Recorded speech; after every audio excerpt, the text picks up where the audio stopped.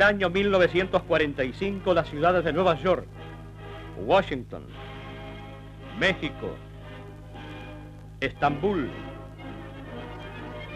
París, Montevideo, Buenos Aires son escenarios de manifestaciones indescriptibles. La Segunda Guerra Mundial ha terminado con la victoria de los aliados.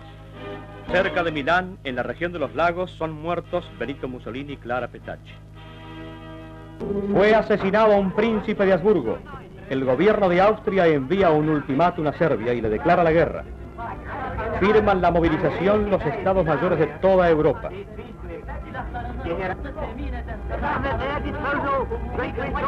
Italia mantiene su neutralidad.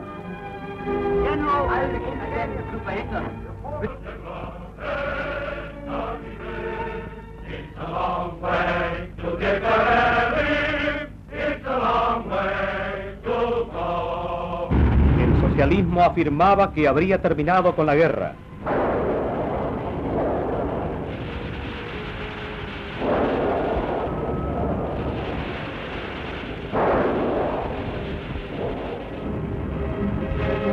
Benito Mussolini renuncia a la dirección del diario socialista Avanti funda el Popolo d'Italia.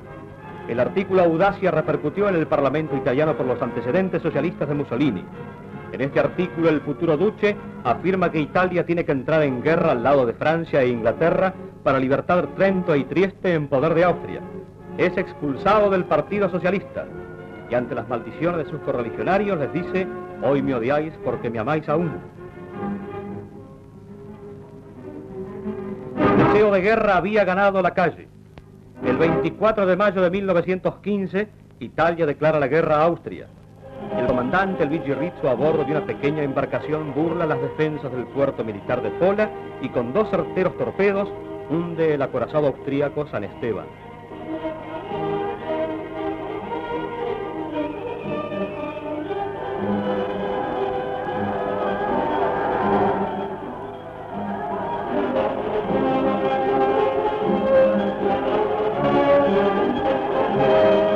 Francesco Baracca, de la aviación italiana, abatió en vuelo 105 aparatos enemigos. Con todo, el ejército italiano tuvo sus reveses, pero en el Piave retoma el camino de la victoria.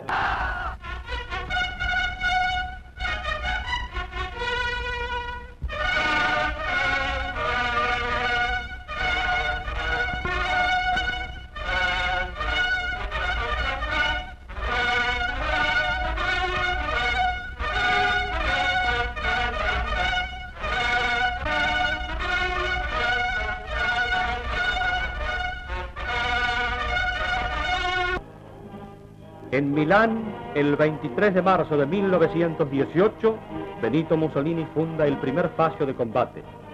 Las agrupaciones fascistas se multiplican. La masa obrera empobrecida por los bajos salarios y catequizada por agitadores comunistas abandonaba las fábricas y la autoridad del Estado se derrumbaba. Las continuas huelgas paralizaban la vida económica de la nación con grave perjuicio para todos los italianos, incluso los mismos obreros que accionaban dirigidos por elementos foráneos. Los fascistas, bien organizados y ya numerosos, se esforzaban en normalizar los servicios indispensables a la vida ciudadana. Estas acciones provocaban encuentros sangrientos entre comunistas y camisas negras. Obreros y jóvenes fascistas eran víctimas de la crueldad roja. Las venganzas y atentados comunistas aumentaban con feroz intensidad.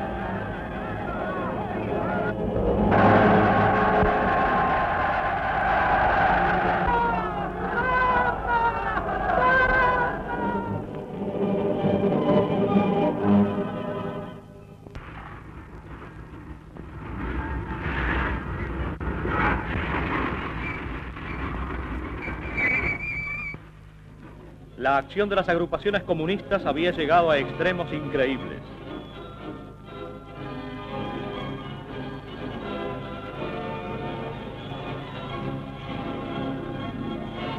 El tren no pudo continuar por viajar en él un sacerdote y un oficial.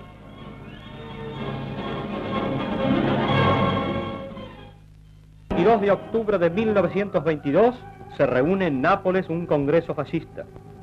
Mussolini imparte órdenes secretas para la marcha sobre Roma y nombra el cuadrimvirato de la revolución. Es el 28 de octubre de 1922.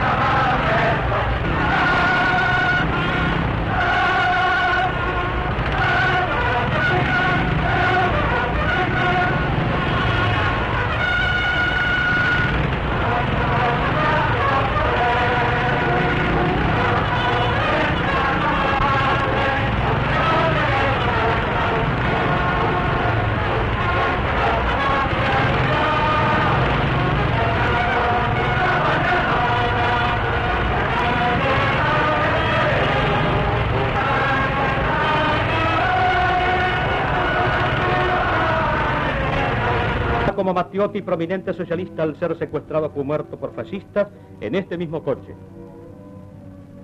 El cadáver fue hallado después de larga búsqueda. La oposición como acto de protesta se retiró del Parlamento. Más tarde Mussolini estableció la censura y eliminó los partidos políticos. Creó el Estado corporativo. Quiere reconstruir el país empezando por la infancia.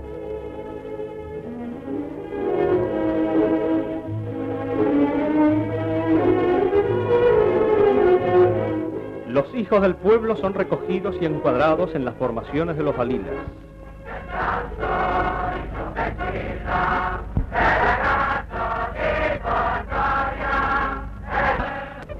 A la juventud le proporciona vida campestre y premilitar.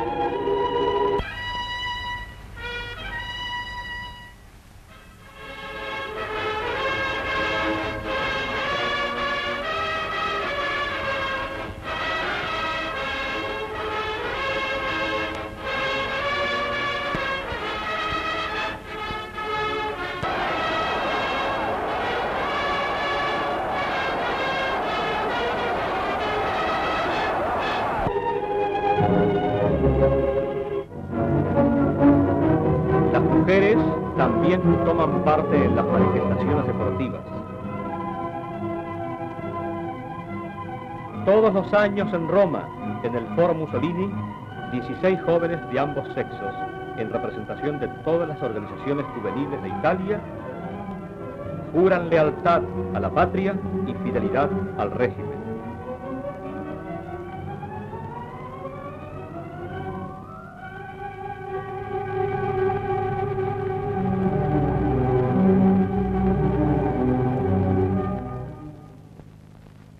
Eran los pantanos de Pontinia, una inmensa zona malárica a 50 kilómetros de Roma. Sus contados habitantes eran gente humilde y laboriosa, de tierras de pobreza y de muerte, fueron convertidas en fuentes de vida y de trabajo.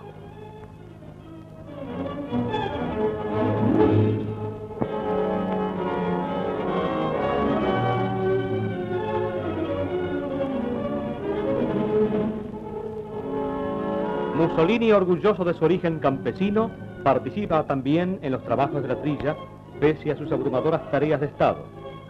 Los resultados de la llamada batalla del trigo emprendida por él permitieron a Italia bastarse a sí misma.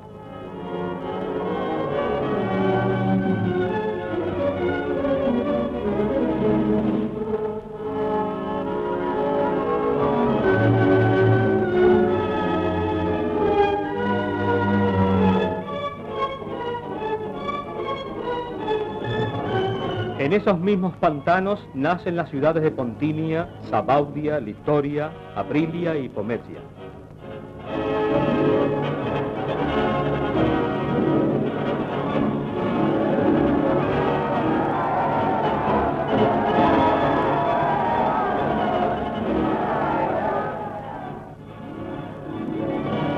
El duche entrega en propiedad a campesinos excombatientes las tierras mejoradas.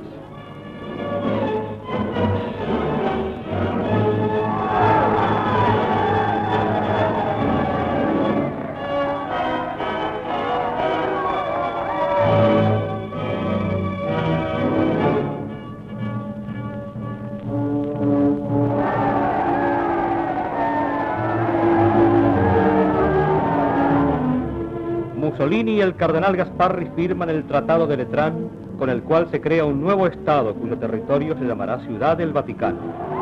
Los romanos se reúnen en la Plaza San Pedro para aclamar a Pío XI, pues es el primero de los papas que después de 70 años de encierro voluntario en el Vaticano, sale al balcón de la Basílica de San Pedro para bendecir a Italia y al mundo. Mussolini afirmaba que las casas y obras que se realizaban significaban no solo un progreso para el país, sino la eliminación de la desocupación que al hacerse cargo él del gobierno constituía un verdadero fantasma y semilla propicia al comunismo.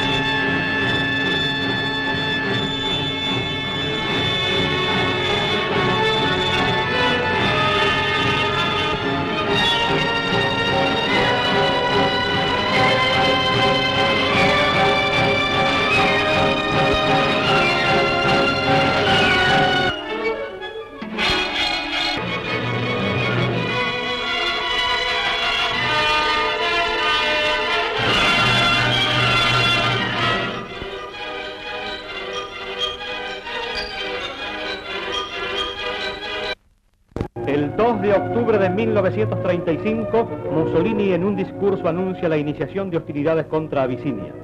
Una multitud gigantesca de 20 millones de italianos se congrega en todas las plazas de Italia llamados por el tañir de campanas.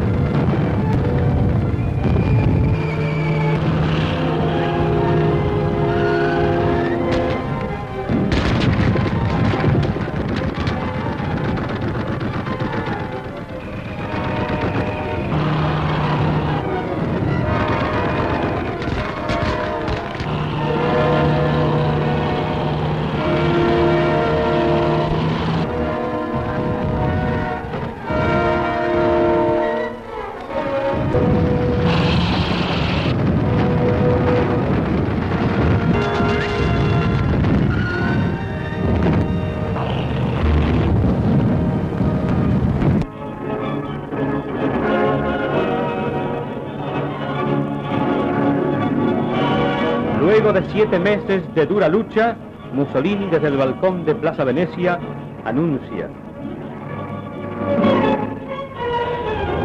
Hoy, 5 de mayo de 1936, hemos entrado en Addis Abeba y prosigue.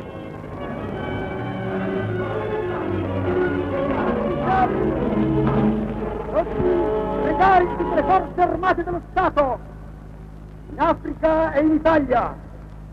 Mussolini afirma que el imperio conquistado con la sangre lo fecundará con el trabajo y lo defenderá de quien sea con las armas. Con lo fecunderà col suo lavoro e lo difenderà contro chiunque con le sue armi. Camicie nere, legionari, saluta al re! Ha sido levantado un monumental arco de triunfo para rememorar la total y definitiva pacificación de dicha colonia que ahora es parte del imperio.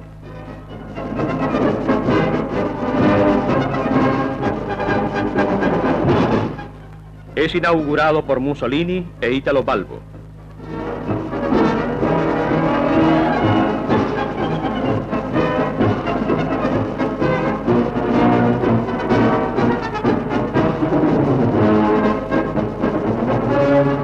Esta visita del Duce a África da motivo a extraordinarios festejos.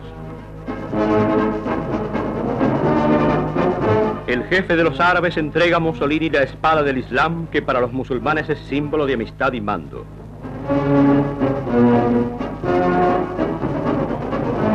A invitación de Adolfo Hitler, Mussolini se dirige en tren especial a Alemania.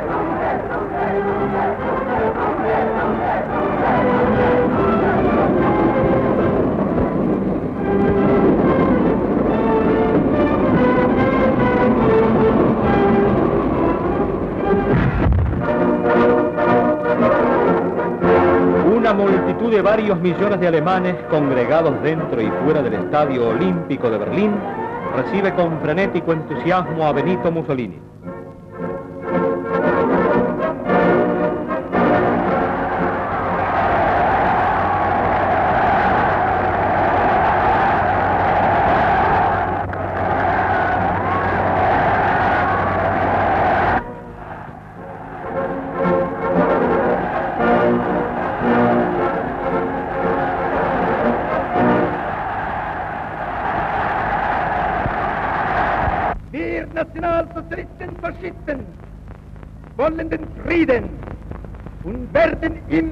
Bereit sein, für den Frieden zu arbeiten, einen wirklichen, fruchtbaren Frieden, der die Fragen des Mussolini dice que el nacionalsocialismo y el fascismo están dispuestos a trabajar por la paz, pero la paz fecunda y verdadera que no ignora los problemas de los pueblos, sino que los analiza y los resuelve.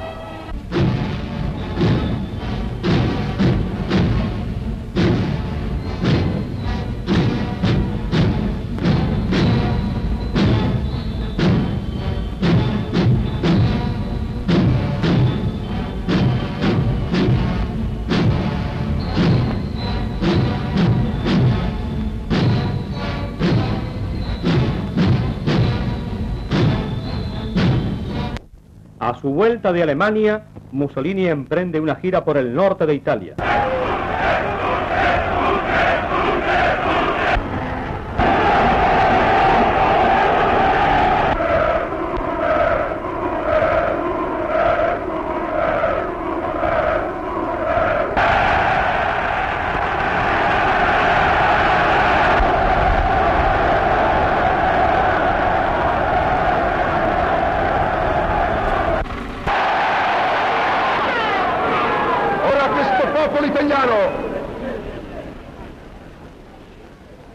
Dato il suo sangue, la sua energia e tutto se stesso per l'impero. A questo popolo italiano noi non chiediamo nulla. Gli chiediamo soltanto di essere pronto ai nostri ordini quando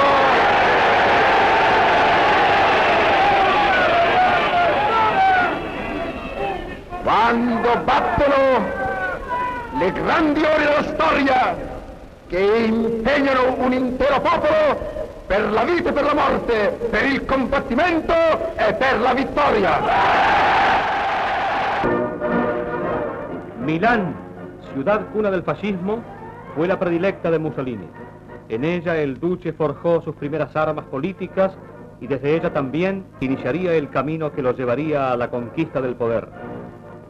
En Plaza del Duomo lo aclama una muchedumbre desbordante. Por el paso del Brennero, el tren especial que conduce a Hitler entra en territorio italiano.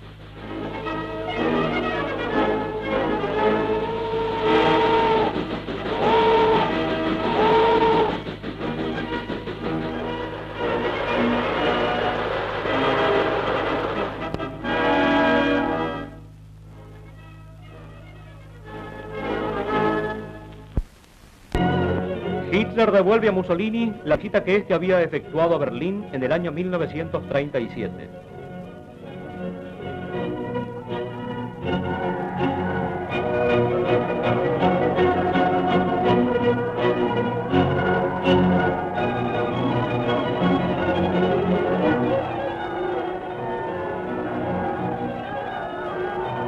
En un marco espectacular, Florencia recibe a los dos hombres de Estado.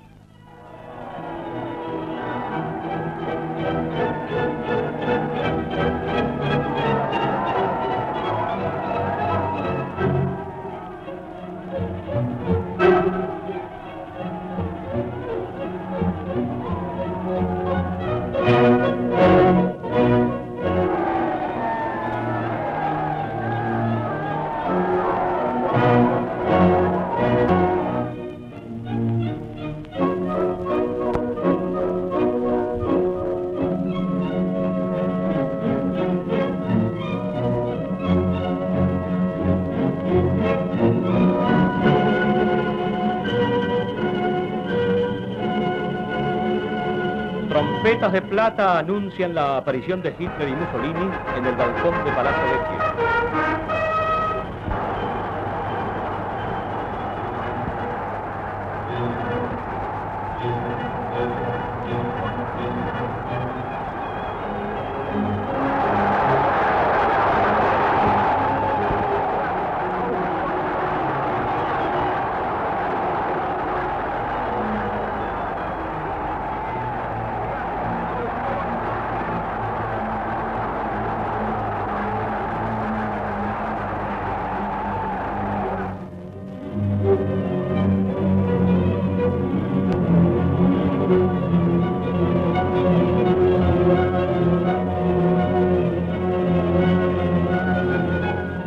Secretario del partido fascista Aquiles Tarache pide a la multitud el saludo al Führer y al duque.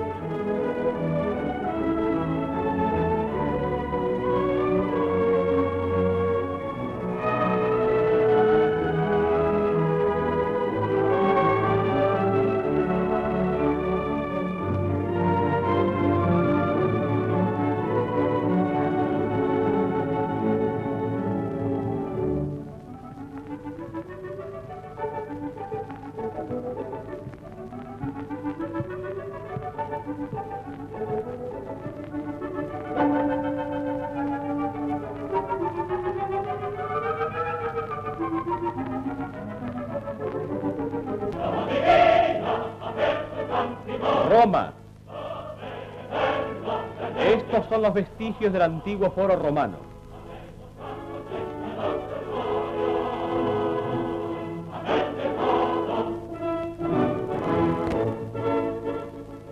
Y este, el moderno foro Mussolini.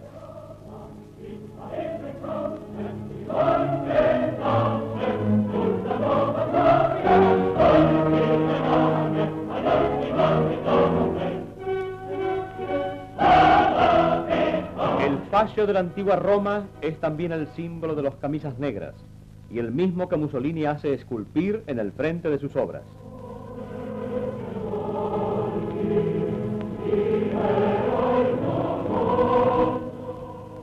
El Coliseo construido por los Césares hace dos mil años queda unido al victoriano de nuestra época por la nueva y amplia calle llamada Vía del Imperio.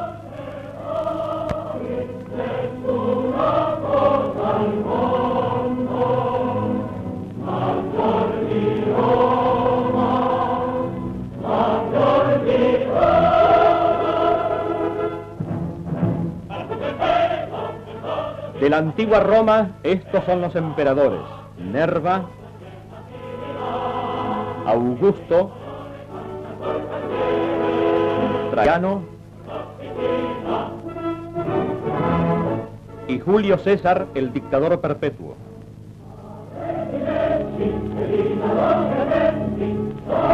Adolfo Hitler de visita a Roma en nombre del pueblo alemán y como acto de homenaje al ejército italiano, deposita sobre la tumba del soldado desconocido de la Primera Guerra Mundial una ofrenda floral.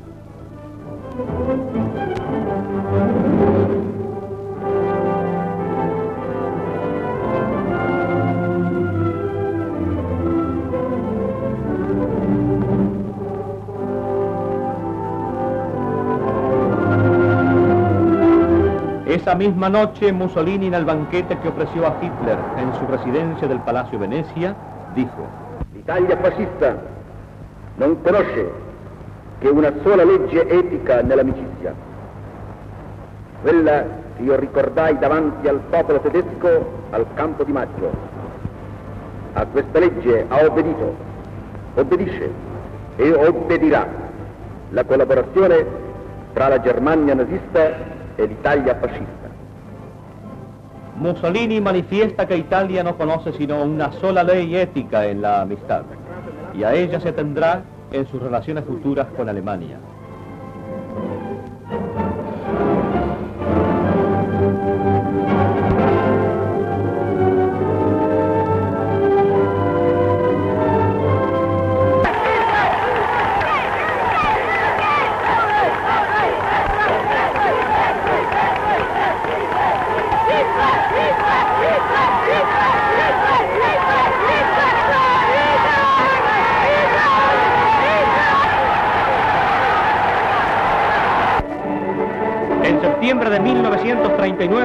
Hitler invade Polonia. Es el comienzo de la Segunda Guerra Mundial que por mediación de Mussolini detúvose en la conferencia de Múnich. En Roma se organizan manifestaciones de simpatía hacia Alemania.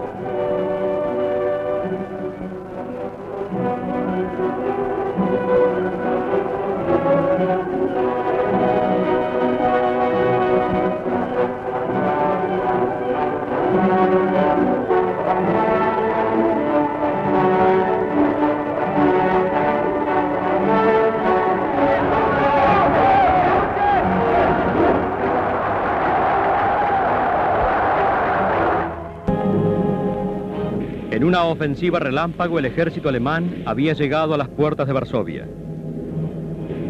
La capital polaca, pese a su resistencia, en pocos días cae bajo el peso del aplastante poderío bélico alemán.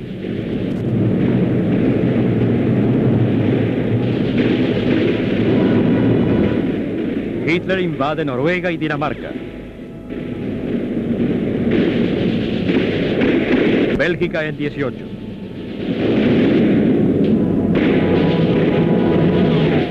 Ejército francés sigue en derrota.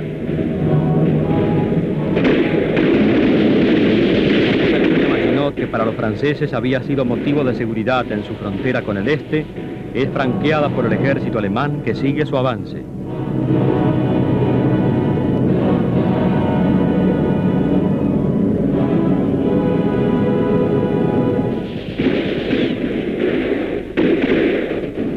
Tropas inglesas que luchan con el ejército francés consiguen evitar su destrucción y vuelven por el mismo canal de la Mancha de vuelta a Inglaterra.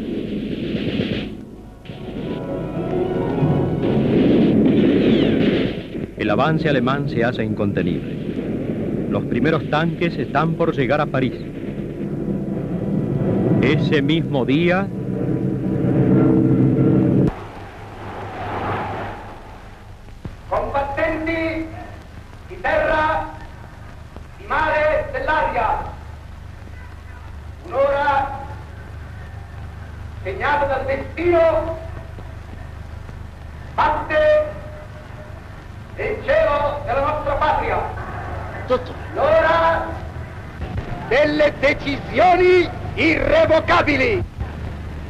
dichiarazione di guerra è già stata consegnata agli ambasciatori di Gran Bretagna e di Francia. Scendiamo in campo contro le democrazie plutocratiche e reazionarie dell'Occidente. Popolo italiano, corri alle armi e dimostra a tu tenaga. Es tu coraje.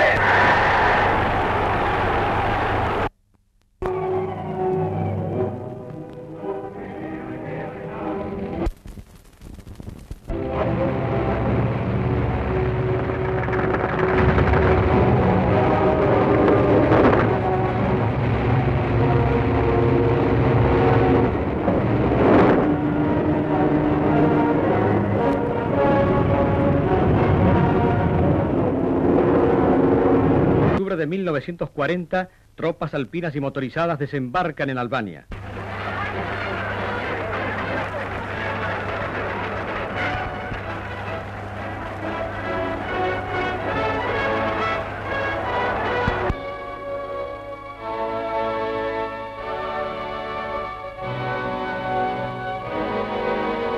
Son recibidas con muestra de júbilo por el pueblo albanés y se dirigen a la frontera con Grecia.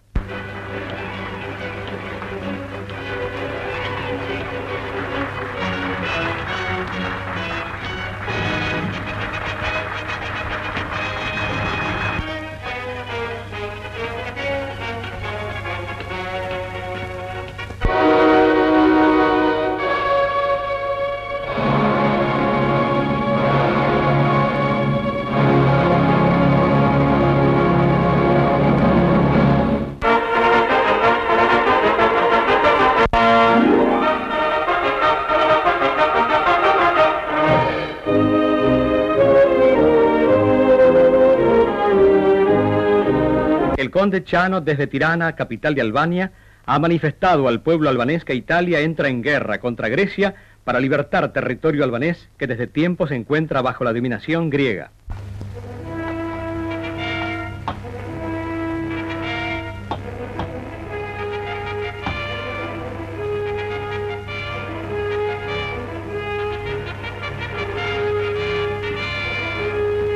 Los soldados peninsulares ya en territorio griego construyen caminos para permitir el avance de tropas motorizadas.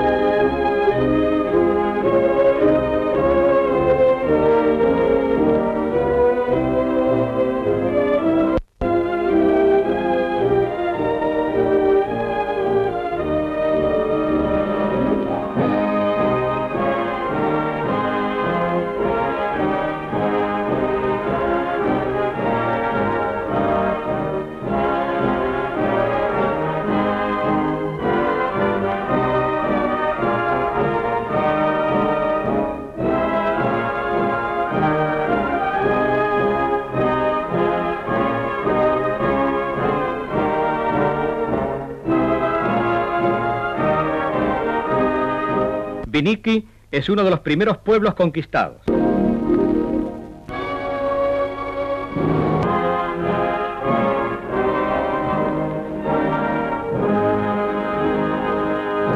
La aviación italiana se muestra muy activa y bombardea incesantemente objetivos militares griegos.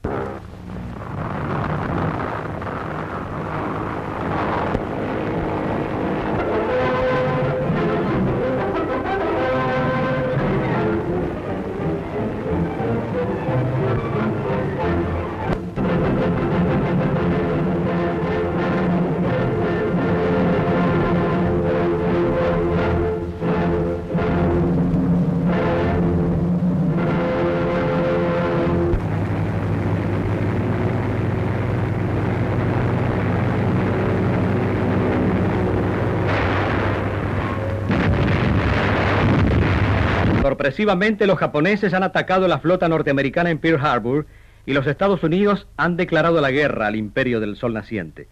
Alemania e Italia se solidarizan con el Japón y declaran la guerra a Norteamérica.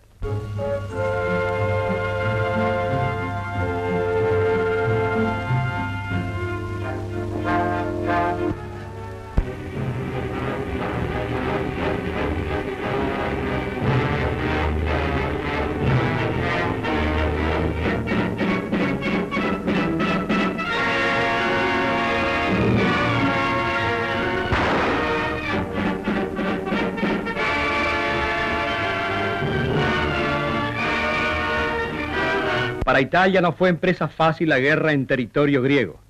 Los planes italianos de ocupación son retardados por la decidida y tenaz resistencia del ejército griego.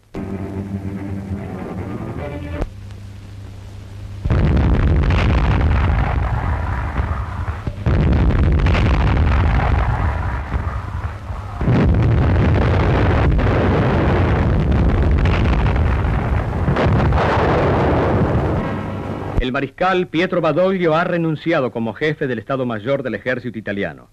También el general Rodolfo Graziani ha sido sustituido como jefe del Ejército Italiano en África.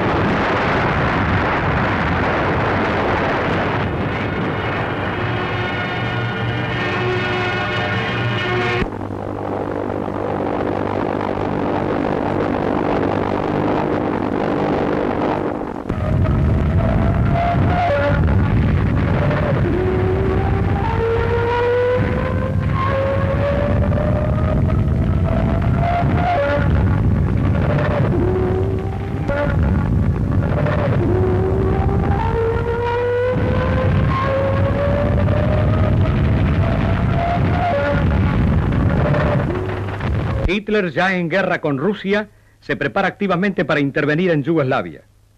La aviación peninsular despliega gran actividad. Este violento fuego antiaéreo no consigue ser blanco en los picchiatelli italianos.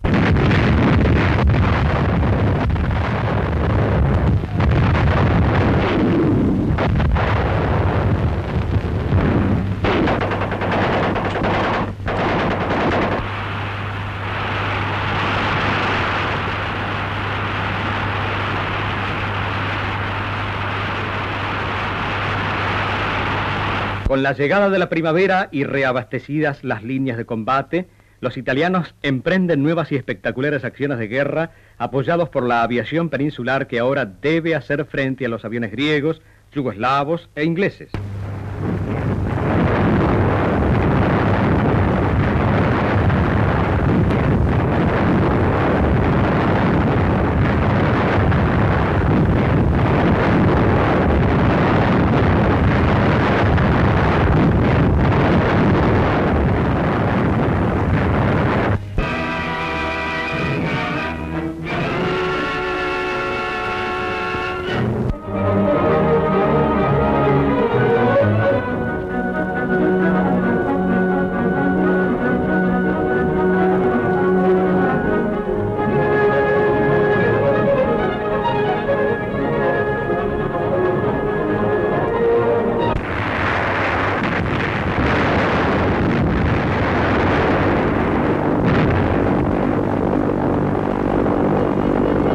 Paracaidistas peninsulares ocupan la isla de Corfú y Cefalonia.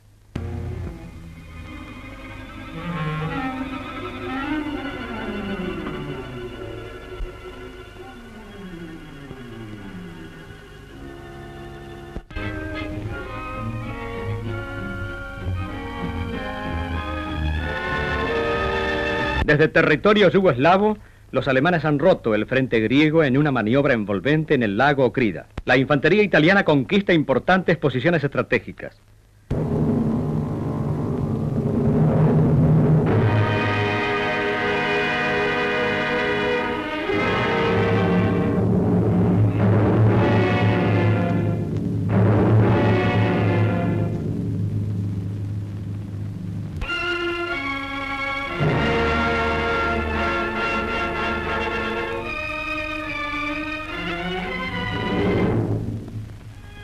Las avanzadas del ejército italiano llegan a Co. La situación del ejército griego se hace insostenible.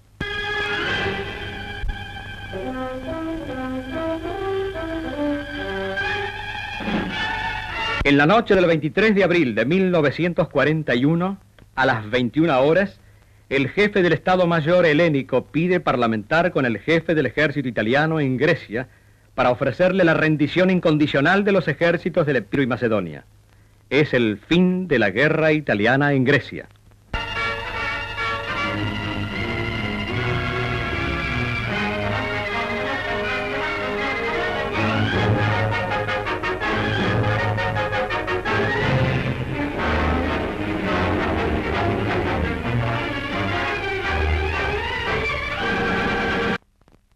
bombardean Roma,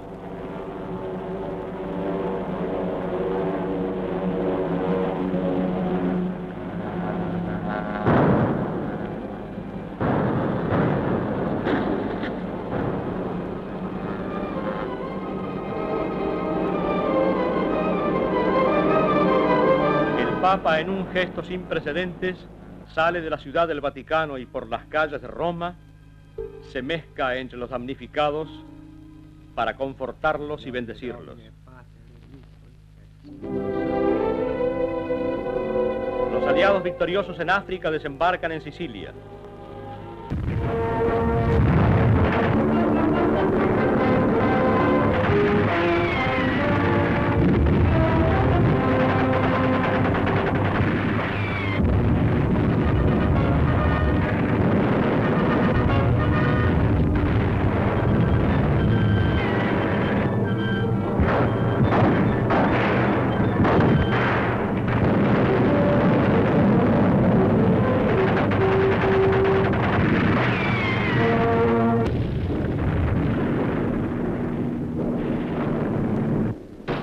De julio de 1943 en el Palacio Venecia se reúne el Gran Consejo Fascista para resolver sobre la grave situación que ha creado dicho desembarco.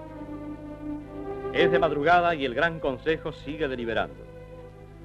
Dino Grandi insiste se vote su moción de solicitar al rey se haga cargo de la situación en su carácter de jefe de Estado. Se aprueba por mayoría de votos. Solini va a informar al rey sobre el resultado de la reunión del Gran Consejo y a proponerle las medidas a tomar frente al desembarco aliado. La entrevista duró escasamente 20 minutos. Al salir, Mussolini fue arrestado. El mariscal Badoglio es nombrado primer ministro. Al grito de ¡Viva el Rey! se realizan manifestaciones antifascistas.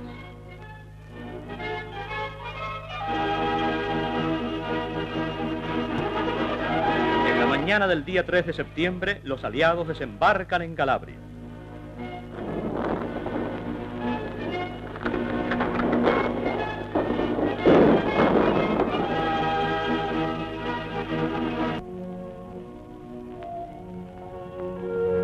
Eyar, ente audiciones radiofónicas, irradiará a continuación una proclama extraordinaria del jefe de gobierno.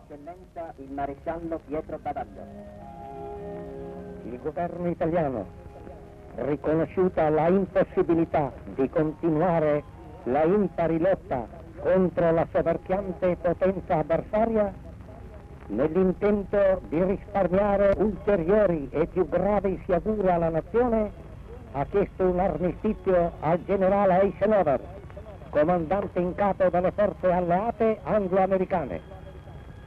La richiesta è stata accolta. El mariscal Badoglio dice que el enemigo es mucho más poderoso que Italia. Por lo tanto, ha pedido el armisticio al general Eisenhower, que lo ha concedido. Ordena al ejército italiano de poner las armas y de estar listo para reaccionar si el ataque proviniera de otra potencia. Qualsiasi.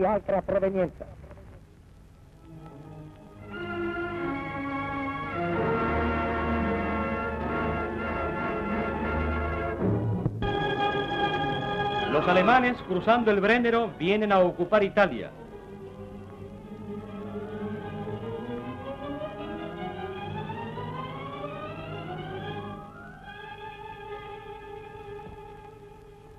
Llegan a Milán.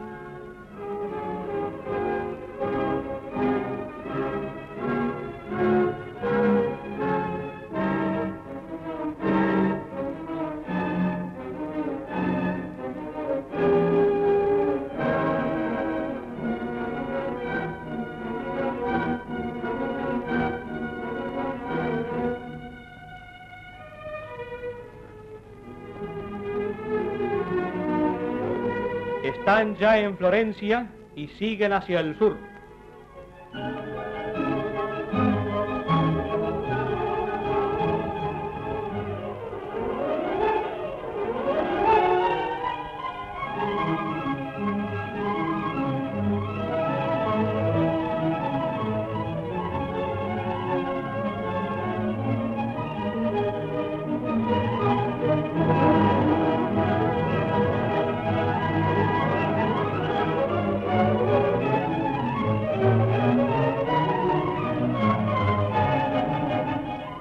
El rey y el gobierno se trasladan al sur de la península ya ocupada por los aliados. Desde allí, Benedetto Croce habla de un primer congreso democrático. Después de su arresto, Mussolini había sido trasladado secretamente de una cárcel a otra por temer al nuevo gobierno italiano que los fascistas intentaran libertarlo. Pero los alemanes, por medio de un servicio secreto, seguían la pista de estos movimientos y el 12 de septiembre de 1943 consideraron llegado el momento de actuar. Paracaidistas alemanes bajan en las montañas del Gran Sasso, el macizo más alto de los Apeninos, y con una maniobra envolvente, mientras un avión helicóptero aterriza a 2.000 metros de altura frente al refugio Imperatore, rescatan a Benito Mussolini de su último cautiverio.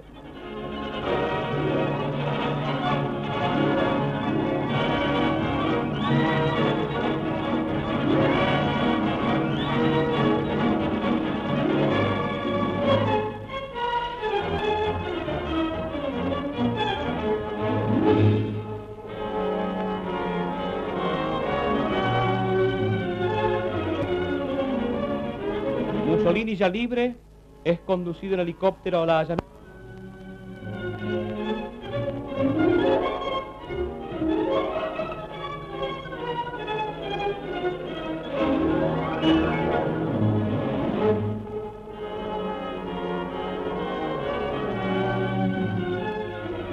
Y prosigue después también en avión a Berlín.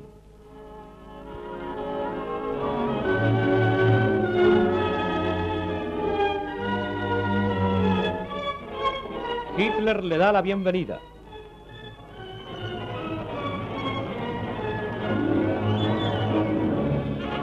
Salúdale también von Ribbentrop. Desde los micrófonos de Radio Berlín, Mussolini habla al pueblo italiano anunciándole su firme decisión de volver a luchar al lado de los alemanes.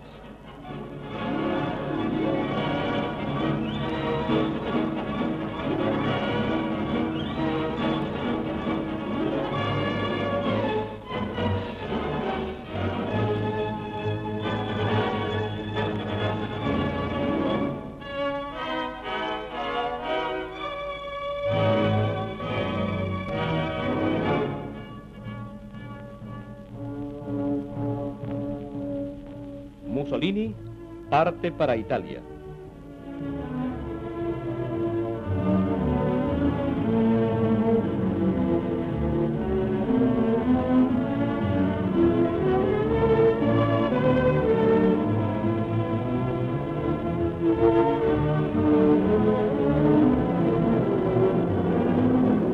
En Saló, sobre el lago de Garda, se reúne con dirigentes fascistas que durante los 45 días del gobierno del mariscal Badoglio se habían mantenido adictos a él. Constituye un nuevo gobierno que en la primera reunión abolió el Senado de la Nación, cuyos miembros eran nombrados por el rey. Anunció las constituyentes para crear las bases de la República Social Italiana. De dicha república, Mussolini sería al mismo tiempo jefe de Estado y presidente del Consejo de Ministros.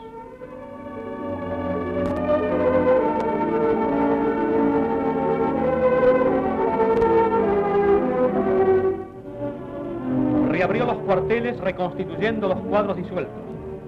A los reclutas les dio nuevas divisas y en lugar de las tradicionales estrellitas en el cuello de sus solapas, llevan ahora el gladio romano rodeado por hojas de roble.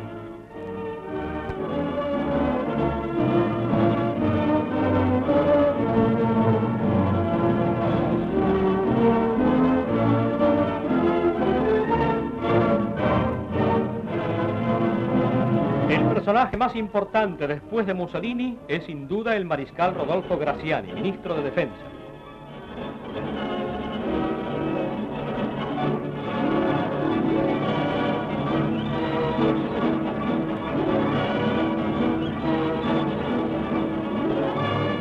Mussolini habla a los reclutas y los incita a volver a la lucha.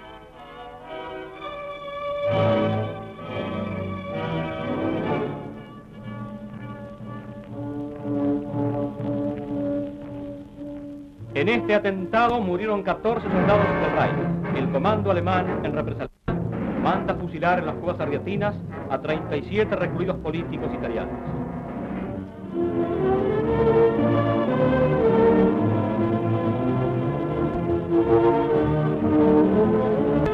La oposición al nazifascismo se manifestaba de distintos modos. En las grandes fábricas los obreros hacen huelga de brazos caídos.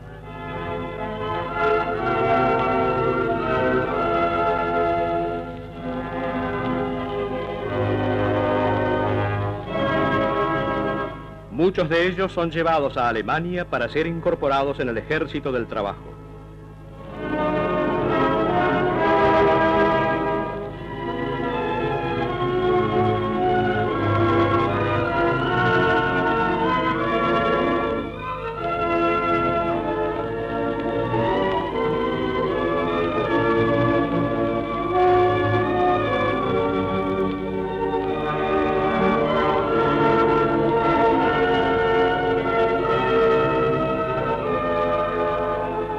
Aviones aliados bombardean ciudades del norte de Italia.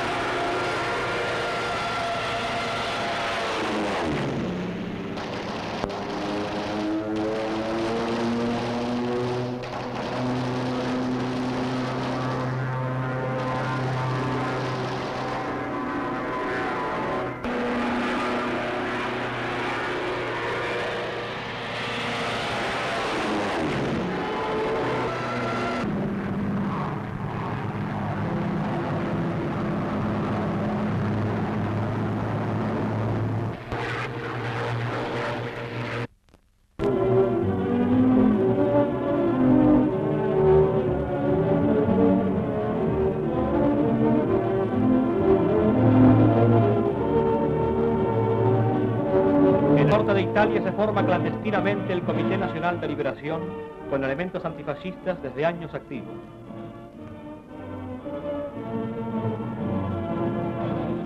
Organizóse la resistencia coordinando todas las células.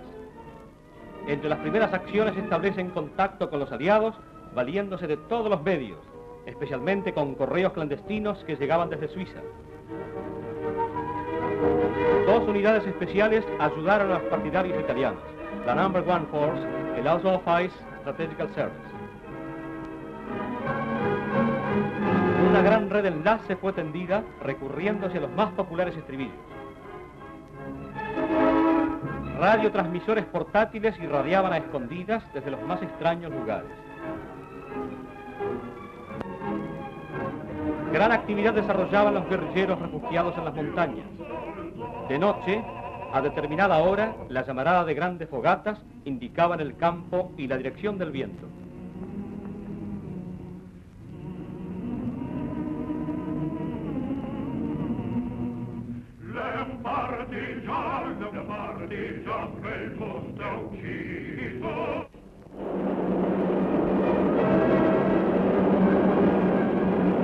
A la llegada de una misión aliada, todo estaba listo.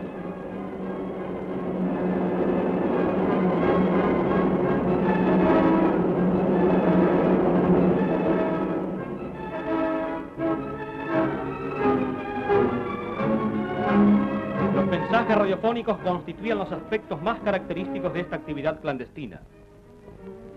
El Comité Civil de Liberación, después de haber oído a los aliados, daban instrucciones para el sabotaje. Colocaban flechas en dirección contraria a las carreteras para engañar al enemigo sobre la auténtica dirección. Ubicaban los movimientos y las fortificaciones alemanas para retransmitirlas a los aliados. Saboteaban las máquinas poniendo arena en los motores o bien llenando de agua los carburadores. Cortaban las líneas férreas o interrumpían las líneas telefónicas.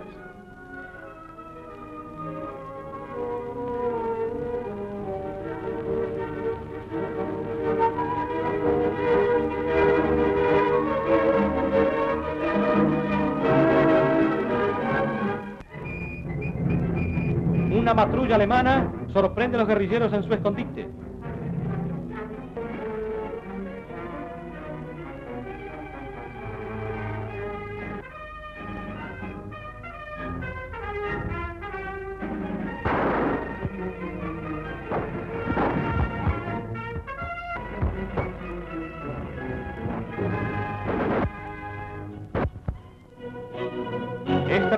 Del lago de Como era el punto elegido para facilitar la huida de los prisioneros aliados. Las montañas y luego Suiza.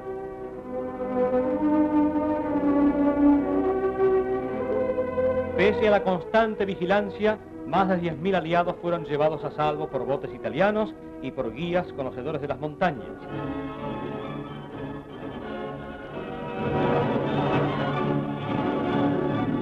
Estamos en el cuartel general de Hitler.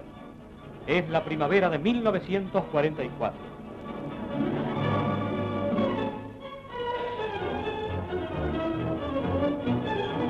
Esta reunión constituye el último encuentro de Mussolini e Hitler.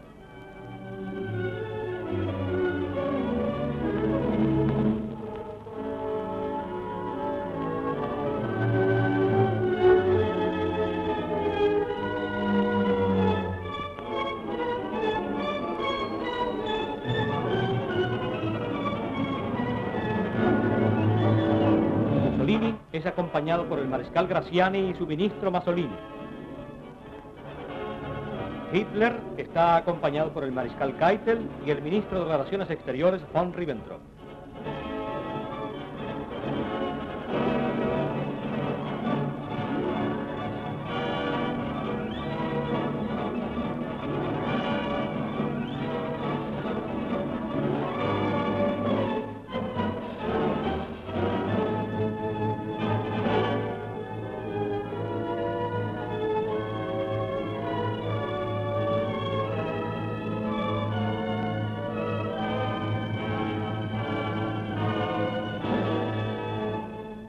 Están presentes también en esta reunión el embajador italiano Anfuso y el embajador alemán Rand.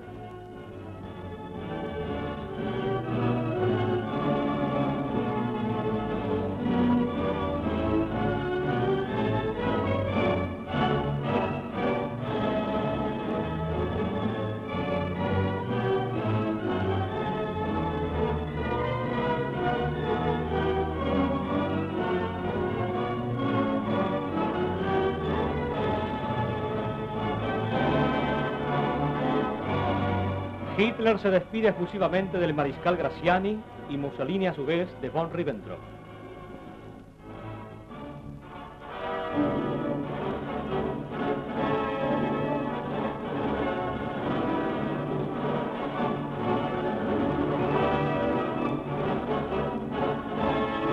El Tucci y el mariscal Keitel cambian también sus últimos saludos.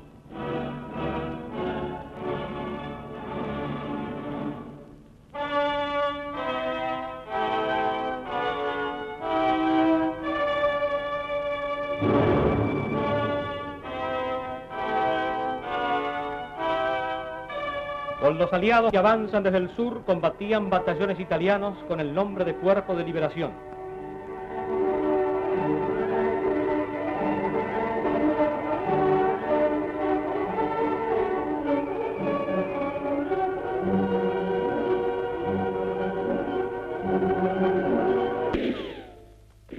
Montecassino, después de larga y sangrienta lucha, es ocupada por tropas aliadas.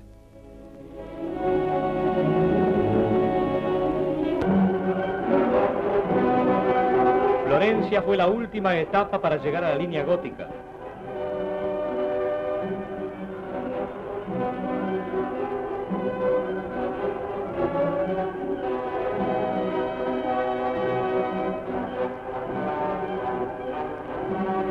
Los suburbios de la ciudad fueron defendidos tenazmente, luchándose casa por casa.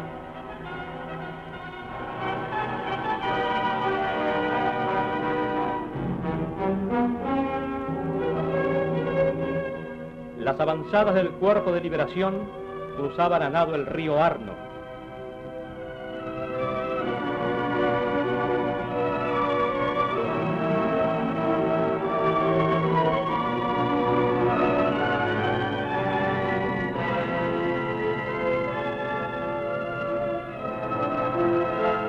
Los aliados, rota la línea gótica, están por ocupar todo el norte de Italia.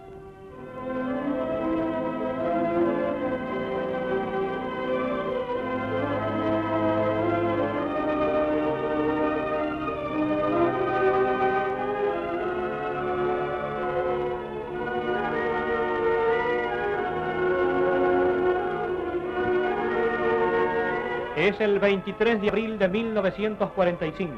Un automóvil entra en el Palacio del Arzobispado en Milán. Conduce a Mussolini y Graciani que van a tratar con el Comité de Liberación las condiciones para la entrega de Milán y su zona industrial. La primera proclama del Comité de Liberación. Comienza la revuelta.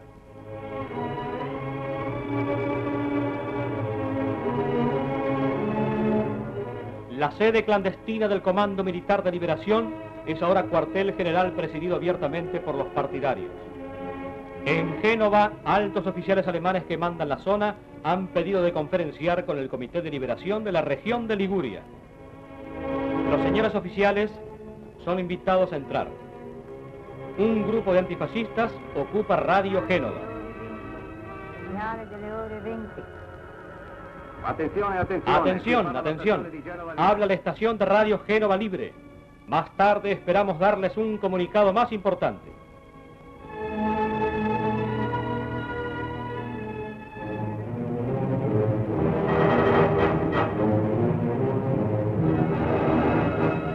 Los alemanes se retiran de Italia. De los escondites salen las armas almacenadas por los antifascistas. La insurrección desborda. De las cárceles salen los presos. De los bosques, de las montañas, de los escondites, bajan las brigadas partidarias. Es el último acto de este terrible drama que ha visto luchar hermanos contra hermanos. Es el fin del fascismo. Es la muerte de Mussolini.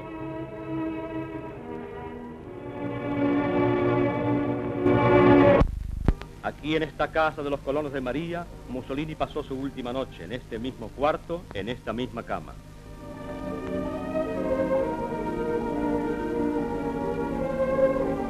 Al día siguiente, por estas empinadas y estrechas callejuelas de Giulino de Mesegra, semi-adoquinadas y muy curvas, Mussolini anduvo sus últimos pasos. Las Dos cruces indican el muro en que fueron muertos él y Clara Petacci. Es el atardecer del 28 de abril de 1945.